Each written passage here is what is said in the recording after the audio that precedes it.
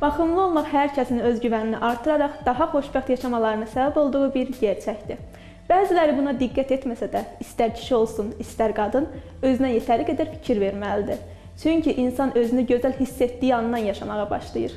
Keçmişdən bu günə kimi bir çox insanın əziyyət çəkdiyi problemlərdən biri də arzu olunmaz tüklərdir. Bundan qurtulmaq üçün istifadə olunan üsullardan ən yaxşısı lazer epilyasiyasıdır. Təxmini olaraq 20 il ərzində bu sahədə tədqiqatlar aparılmış, 1990-cı illərin axırlarına doğru isə ticarət məqsədi ilə istifadəsinə başlanılmışdı. Bu prosedur tük köklərinin lazer işıqları vasitəsilə təmizlənmə prosesidir. Lazerdən əks olunan şüa dəriyə, ətraf hüceyrələrə zərər vermədən tükün kökünü və soğanaq hüceyrəsini məhv edir. Beləcə zədələnmiş tük kökündən bir daha yeni tük inkişaf etmir.